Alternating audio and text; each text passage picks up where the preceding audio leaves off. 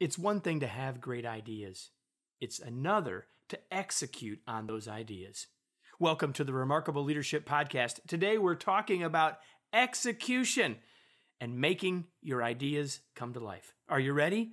Let's get started.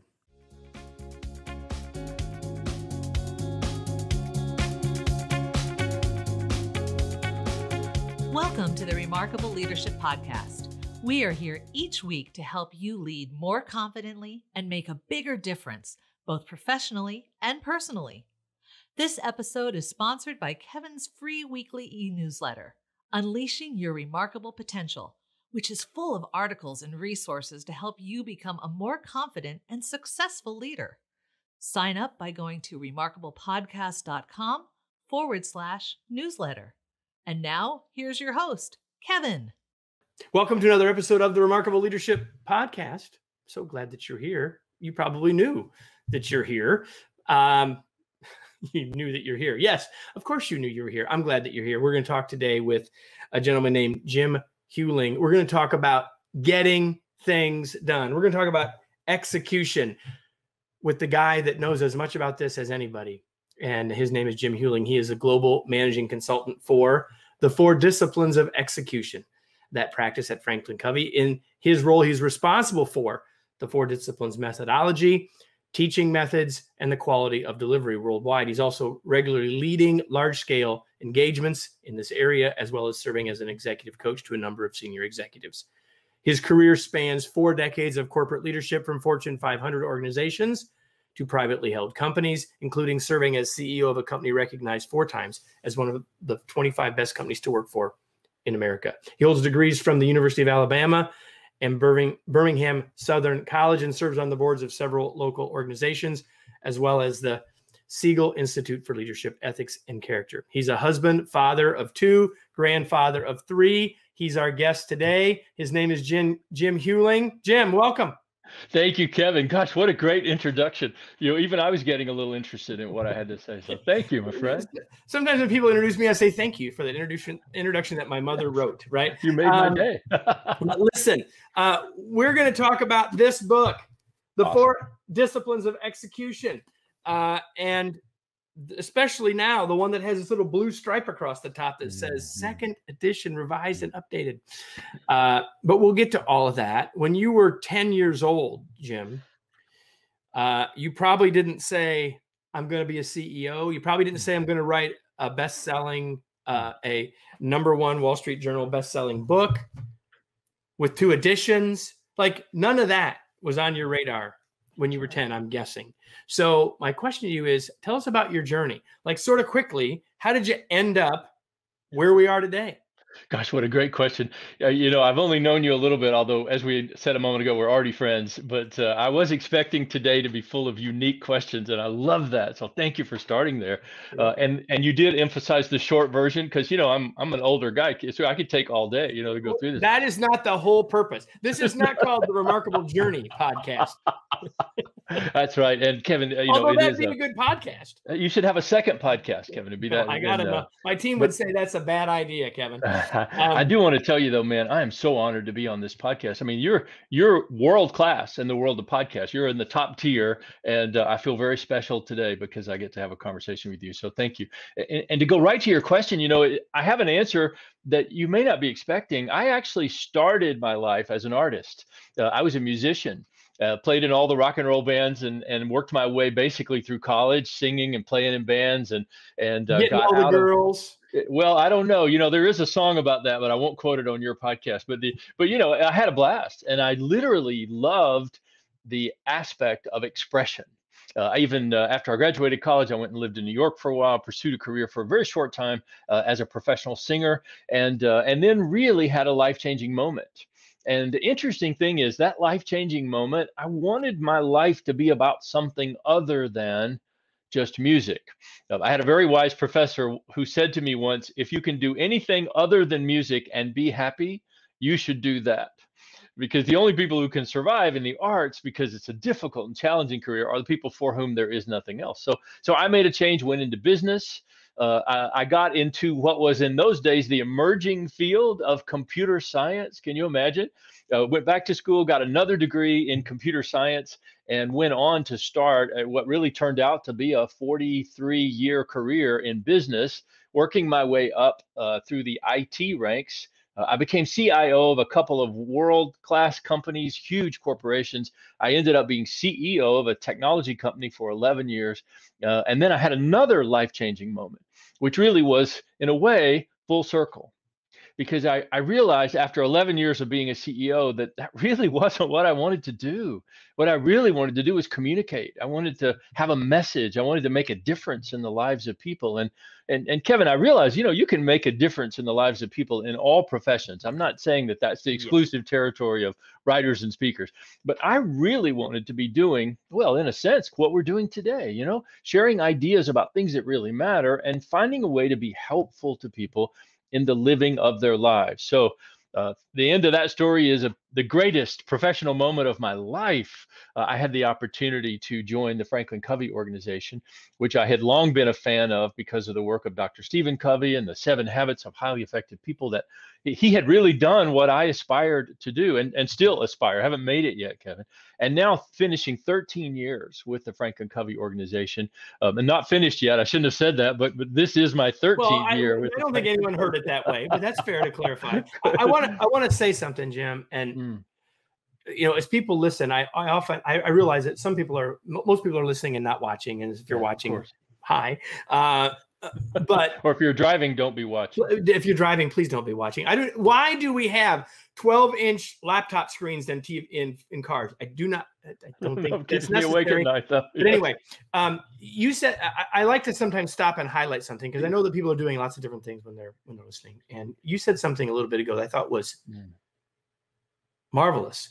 And and this is not. This is also not the remarkable parenting podcast but you said something that one of your professors said to you that I think that many times parents struggle with.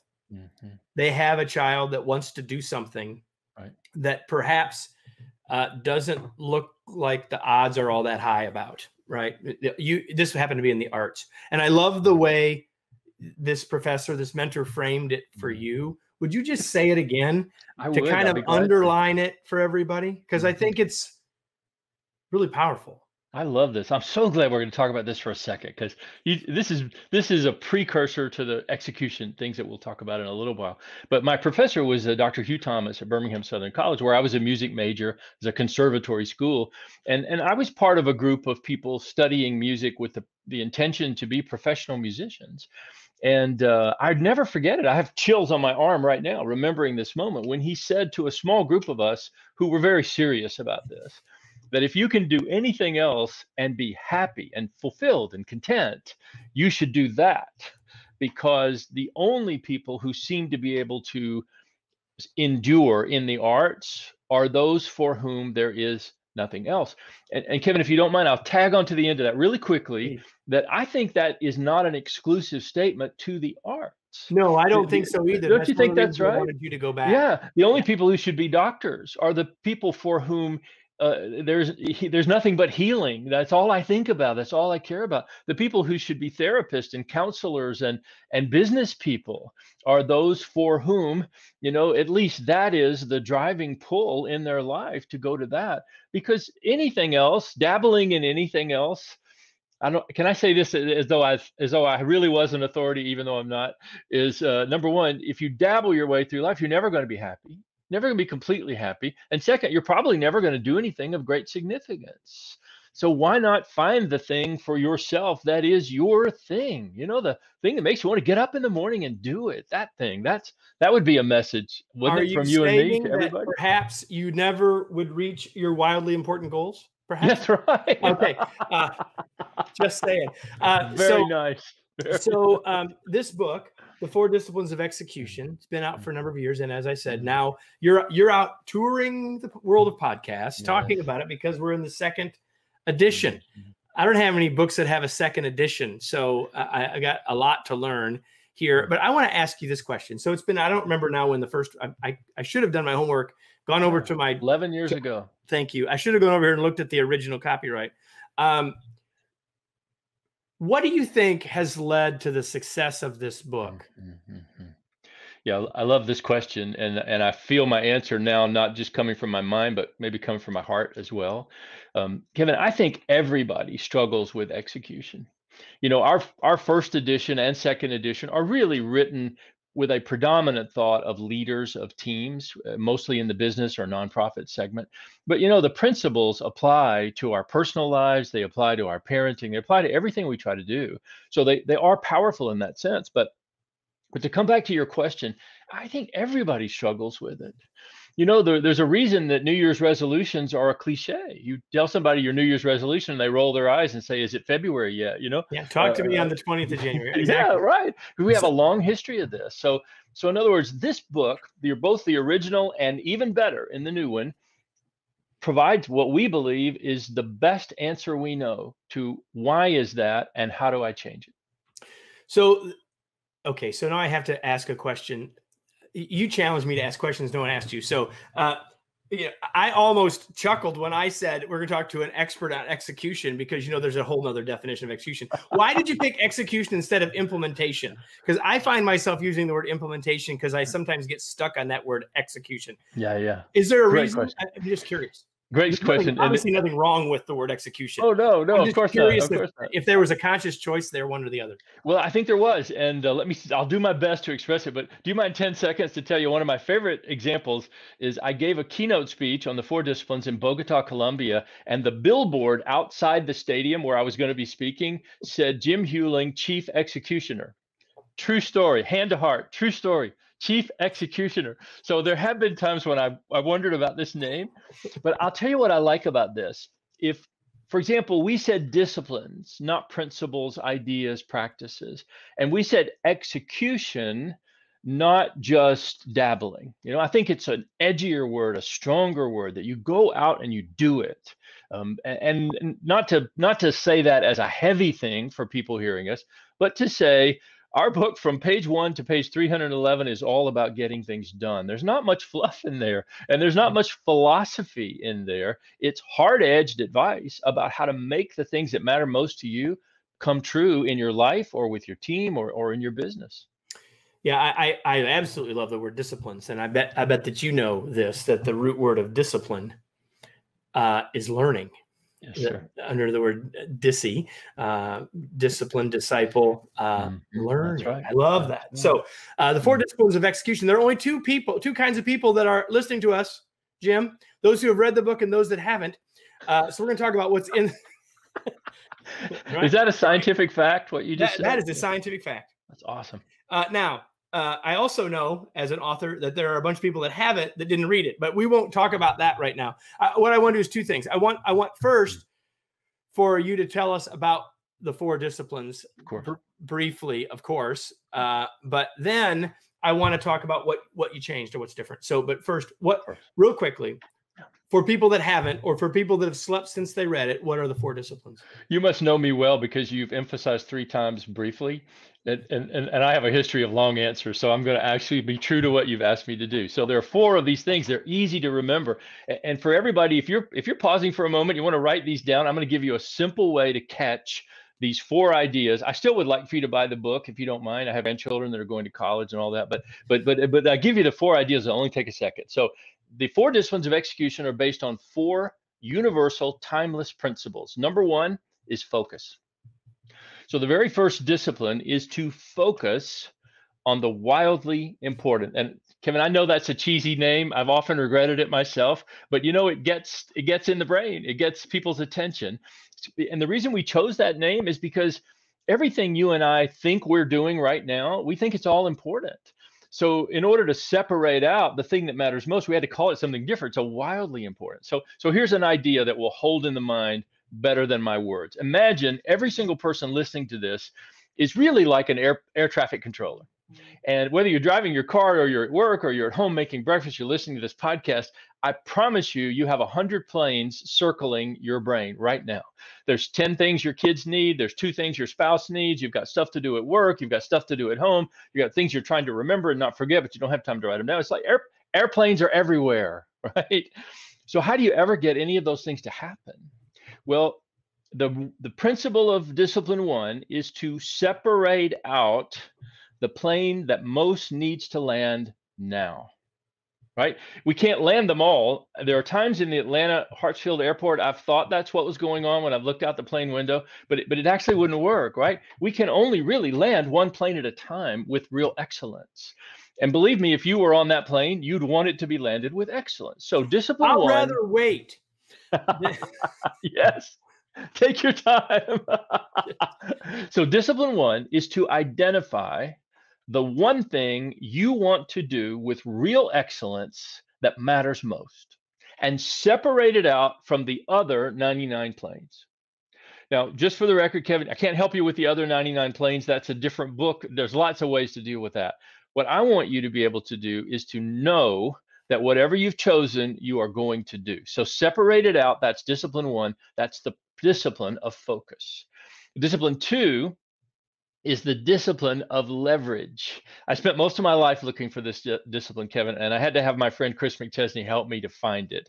Discipline two says that no matter what goal you've chosen, there are a few human actions that will have more impact on it than all the rest right so so in a very real sense it's about saying now that i've chosen the goal what are the one or two things i could do with consistency and excellence that would have the biggest impact on the goal right? It's it, it is 40%. what in a very real sense you know the 20% or heck maybe it's 5% i don't know but it's Yeah, the few you know, if you things take if you take the 20 if you take the 20 Yeah, 80 yeah. and then you take 80 of the 20 you exactly. I'm right five, with you. I'm right with you. And believe it or not that's really been the key to all the success we've had around the world. 300000 organizations are using this process today and a big reason is because they finally got this that i don't have to work harder i just have to get a lot smarter i have to know the few things that produce the biggest results that's why we call discipline two the discipline of leverage like if you had a pole and you were able to move a big rock it's that idea small movement creates big results. So that's discipline two. One was focus, two was leverage. Three, the one that's often missed and my personal favorite, I have to I have to admit it right here on on a national uh, podcast, uh, is the discipline of engagement. So in other words, discipline 3 is about how you keep score. It's about it's about feeling like you are playing a winnable game. Like like achieving this goal could actually be fun. It's not just all grinded out work, right? And it turns out the key to that is how you track your progress. So, in other words, if you build what we call a compelling scoreboard, then you will have way more rocket fuel in your engine to pursue discipline one and two than you would have any other way. And this applies now if you've got a team of people building a scoreboard that they rally around and say, hey, that's our board, this is our game we're playing, or whether it's something that you put on the refrigerator at home and you're marking the days when you stayed on your nutrition plan or you got your 10,000 steps in, doesn't matter. The, the ability of that visual display to compel you to want to play to win is the power of discipline three. Discipline three, keep a compelling scoreboard. And the big one, Kevin, is discipline four. Discipline four, without any question, the most important discipline. In fact, one, two, and three are sort of how you set up a game. Discipline four is how you play the game.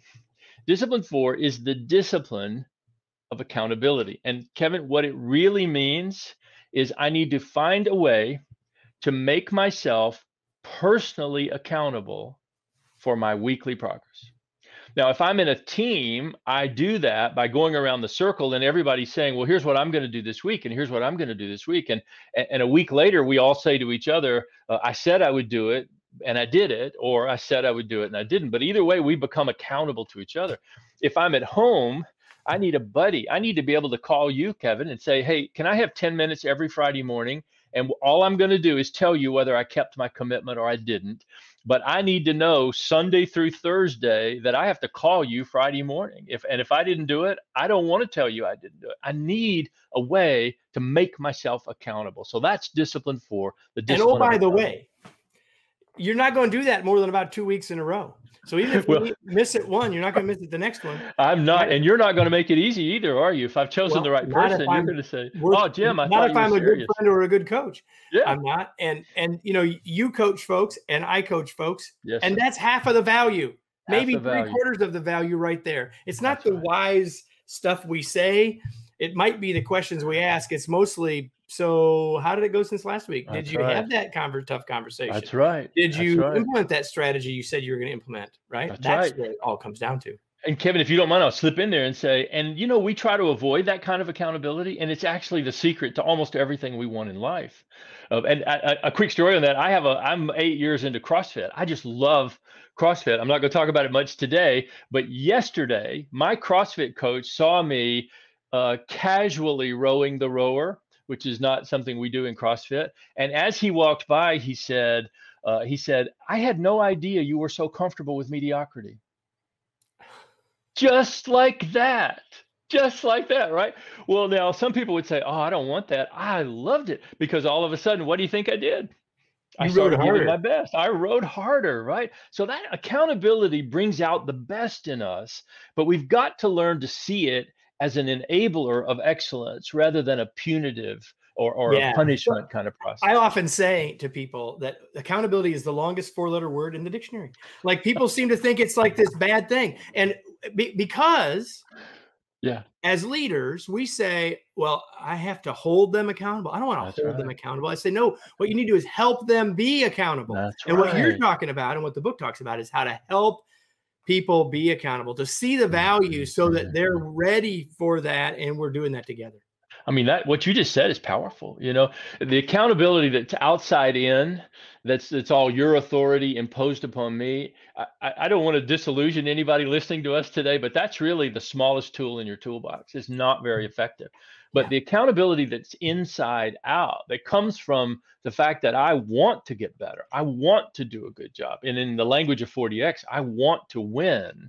That kind of accountability every champion every every person who's done something great in the world every person who's reached the best level they were capable of they had that inside out kind of accountability so uh, as we're having this conversation no one else is going to hear this for a while but as we what just happened in our world as we're having this conversation in late may is that phil mickelson won yes a major at age 50 no one no one held him accountable to that Simone Biles just did this amazing thing, jumping. Yeah, uh, you know, nobody's no ever, ever, done, before. before. No one held. No one held her to that accountability. Right. In fact, but, let's go further. Someone helped both of them. Yeah, and if somebody had said to Phil Mickelson, "You have to win this year," it wouldn't have had the same effect as him saying, "I'm going to win this year." Yeah, that's the totally difference. Different. All right, so all right, so you wrote this book, sold a bunch of copies, three hundred thousand companies using it, uh, and then you updated it. So, yeah. give me like what did you change? Yeah, yeah, great question. So from first of all, for context for your listeners, from point A to point B is about 10 years. And in those 10 years, we weren't sitting back counting how many copies, you know, left Amazon every single day. We were out implementing this process all over the world with all those companies that you just mentioned. So we had the chance to learn firsthand, shoulder to shoulder, heart to heart with leaders around the world in some of the world's greatest companies using the process, seeing what worked, seeing what didn't work, seeing what was clear from the book, what wasn't clear. What we thought was clear, but it, it sure wasn't, you know. And uh, and then we began also to learn something we didn't know. And this brings me to the answer to your question: What's really different in the second edition? Uh, first of all, we've tightened up the writing a little bit. We got a lot better at writing in the, the ten years. But what's really there that wasn't there before is this emphasis on leaders of leaders. Now, I just give you a tiny context. The first edition was predominantly written towards the leader of a frontline team. So, you know, those wonderful individuals, whether it's a team of five or 500, that everybody who reports to you is basically an individual contributor. So that's the first book. In the second edition, we kept all of that, but we added 30% new content, all directed toward people who have that unique job. And I saw this on your face, Kevin. You know what I'm talking about. The leading of leaders is an entirely different discipline. And even though there are 80 million books on leadership in the world, there really aren't any that we know of about leading leaders. That's a unique skill. So that's what we added in. We kept everything from the first, but we added in this this 30% section on leaders of leaders. What do they do to help people achieve great results? I love that. So you maybe kind of answered this a little. Okay. Four disciplines. Well, you told us what our, your favorite is, and uh, oftentimes authors don't want to do that. They'll say, know, "Well, they're all my children," blah blah. But you picked your favorite. I love that engagement. The third one, uh, Mhm. you know, compelling scorecard. I'm going to come back to that in a second. But I, which of the four, across all of the experience over all those years, are people doing the poorest or least Oh my consistently? Yeah, and, and I think you are not going to believe this, except that I hope you trust in me to tell the truth. Do you know it's discipline one? Do you know everybody in the world thinks they're focused? And, and sometimes focus is just a pseudonym for busy, right? Uh, I got, I'm so focused these days. I can't believe how focused I am. I focused on 37 things today, you know? Well, if you focused on 37 things today, you really didn't focus on any of them. You, you know, you may have touched 37 points throughout the end of your day, but you didn't give any of them the very best you had or the quality time needed to get to a level of depth or excellence. So you re- you may think you did, but you didn't. And and you know, um, I bet we could do a podcast. We won't today on multitasking. Multitasking is the greatest lie ever told. It's a myth. We, we, we don't have to have a, con- a conversation about that because it doesn't exist. It doesn't, but people think it does. You know, they think I can be reviewing a report, listening to a phone call, eating a cheeseburger, driving my car all at the same time, and I got it. I got them all handled, and it's just not true. So Well, hold, When hold we come- hold on, stop right there, Jim. So a lot of you who are listening right now are trying are listening to us while you're doing something else, and that's fine. But you know, the most you're going to get from this, the very most, is seventy percent of it. Oh, oh, you're so very most. optimistic. Yeah, what a kind Right? guy you well, are. I mean, the research says the very best you can do at any two things is seventy percent of each. Yeah. Varies widely. So the very, very, very best you could possibly do. And if you're a woman, the odds are you might do it a little better than a man. That's what the Yeah, research yeah, says. yeah. But the reality is, Oh. if seventy percent is good enough, you go for it. And if you move that to three things, you're probably down in the 25% Oh. effectiveness level. So I, I'll, I'll tell you something I believe with all my heart, and I don't mean offense to anybody. Habitual multitaskers, to me, are great candidates for mediocrity. That's really what you're saying is if you're going to try to do five things at once and call that focus, i- i- if you feel you have to do that, then you know you have to do what you think you have to do. But you're never going to do your best at any one of those five things, or even any one of those three things. So believe it or not, focus is the one that people struggle with the most. And part of the reason is they think they're already doing it. They're like, hey, well, Jim, we can skip this one. Can you go right to discipline two? Because we got this focus. We have 25 goals here for our team. Which means you don't have it. You Right? got no you got goals. 25, you got zero. Exactly. Exactly. Um, so uh man, I might have to have you back, Jim, sometime. But but Ah, I I, I gotta ask, is there something that we didn't talk about that you Mm. wish we would have or thought I'd have asked or wish I would have asked? Mm. Well, I'll say it, and I and I don't need to apologize with you, but it's a little bit uh, philosophical, which is simply to say, um, I've been in leadership a long time. I've been a leader of leaders for a long time. I've done it well sometimes and not well at other times, but I've come to the conclusion that the vast majority of the leaders in the world are leading almost exclusively from their authority and from their mind. You know, in other words, if I can be really clear about what I want you to do, and I can I can make sure you know there are consequences if you don't do it. That's leadership.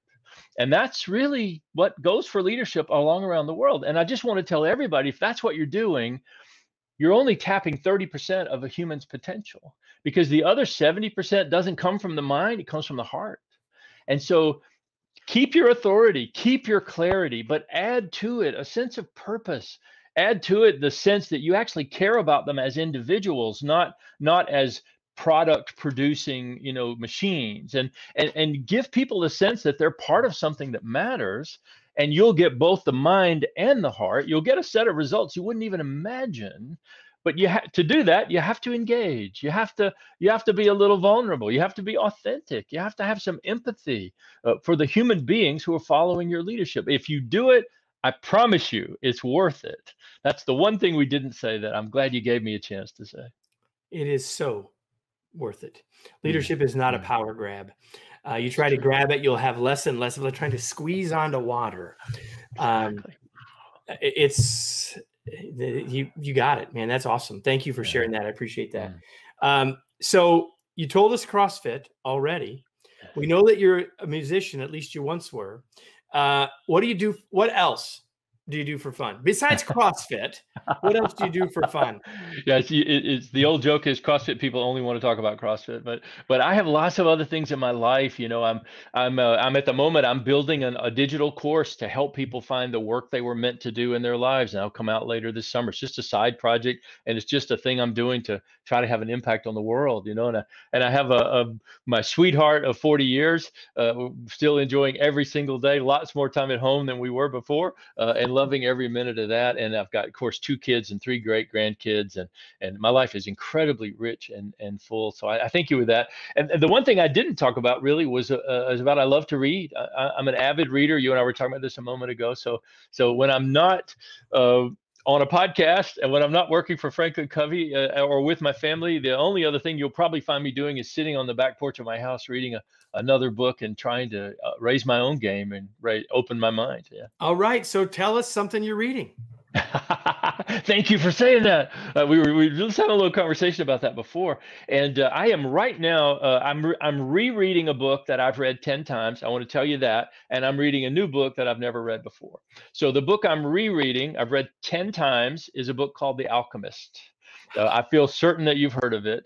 Uh, I have, Kevin. I've almost bankrupted myself giving away copies of The Alchemist to people. I've only, I, am way behind. I've only read it twice it's life changing it's a it's a it's an allegory. It's a story that teaches. So if you're not if you don't like that kind of book this is not for you. But the depth of those teaching moments in that book I, I just think they're simply profound, and so uh, I encourage everybody to to take a look at that.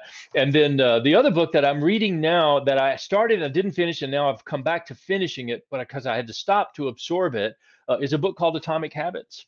Um, I hope you've heard of it. I, I, think James Clear is just one of the most incredible voices in the world today. And even though he writes about things that are very similar to ours, uh, his book and our book are very harmonious. You know, ours is sort of the organizational version, and his is sort of the personal version. But I think this guy's brilliant and the simplicity he makes everything so simple. So if you're looking for a companion book maybe to four disciplines i think atomic habits is a wonderful wonderful it's, it's one of my favorite books of all time i'm reading right now. And uh, i don't know if you mind me mentioning this i hope you don't. Um, I have read about three books a month for the last 41 years. Literally, I actually have a list of all the books I've ever read, and people ask me all the time, Kevin, if it's if it's uh, uh you know what's what are the books that have impacted you the most? And if you don't mind, I have a document. I have a list of the 16 that have impacted me the most. May I give it to you? And anybody who's interested in it, you could maybe make it available to them? Yeah, we we talked about this before I hit the record button, mm-hmm. and we'll we're gonna put that on the. You're gonna give awesome. it to me, I'll and then we're gonna have it in the show notes here. So whether awesome. you've whether you're if you're wherever you're listening, you can go find the show notes, or you can go to remarkablepodcast.com. Beautiful. And you can go find this episode, and then you can watch us a second time if you want to. Uh, but we'll have the link to that there, as well as the link to the Alchemist Atomic Habits and the four disciplines Wow. Thank you. Execution. Wow. What, what, what, an awesome podcast. What, where do you want to point people? Uh, I'll hold the book up, but where do you want to point yes. people? How can people learn more about you, connect with you? What do you want to tell people? Absolutely. Two things real fast. Uh, 4dxbook.com, for David X-ray book.com. That's Franklin Covey's place for the all things about the 4DX book. Please go there. Lots of videos, lots of testimonials. Uh, you will see my partner, Chris McChesney, who's a far better speaker than I am. So you'll get a chance to see a real professional there as well. I hope you do. And if you have any interest in me and the things that I'm involved in uh, in Four Disciplines and Beyond, jimhuling.com, J I M H U L I N G.com easy to remember, I hope. And uh, by the way, I'm on every social media platform in the world. And just about every day, I put out a thought about leadership or about life that I hope in some small way makes a difference. And so if you follow me on any social media, I'm on all of them. Uh, almost every single day, you'll see at least a little thought from me and check them out and let me know what you think. All right. Uh, Jim, thanks. Don't go quite yet, everybody. But I have a question now. I'm done asking questions of Jim. I got a question for all of you. If you've been here before, you know what question I'm going to ask you. Are you ready? Now what? What are you going to do? What action are you going to take as a result of this? Because at the end of the day, well, if if you've enjoyed the last 30 plus minutes as much as I have, then you've been entertained. But you didn't come to be entertained. You came hopefully to be edified. But edification doesn't end with the information. It ends with the application.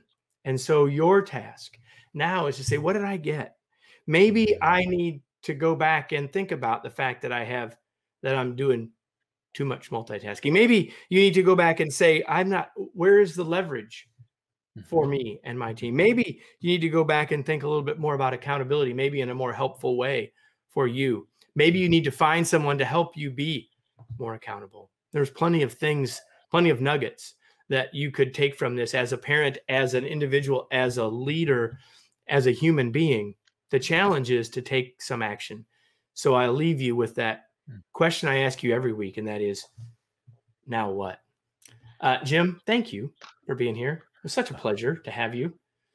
Thank you, my friend. And, and do you mind if I just say real fast? I'm on a lot of podcasts. You are amazing. You ask insightful questions. You keep things moving. I mean, this this has got to be one of the top podcasts in the world, uh, and I'm I'm so privileged to have been on it today, Kevin. Thank you very much. Well, I appreciate that and very much. And uh, uh, if you are a someone who listens to this podcast and you agree even halfway with Jim, tell somebody else. Uh, go give it five stars wherever you happen to listen. Uh, we'd love to have you do that. Uh, and, and let me just close by telling you all that this episode was brought to you today by Remarkable Masterclasses. Each month, we release a new skill in an advanced form of a masterclass designed to help you become the remarkable leader and human you were born to be. You can get all the details on how to get on board with a specific course or uh, get discounts every month by going to remarkablemasterclass.com. And uh, we'll be here next week, as we are every week, with another episode of the Remarkable Leadership Podcast. I hope you'll join us then. Thanks.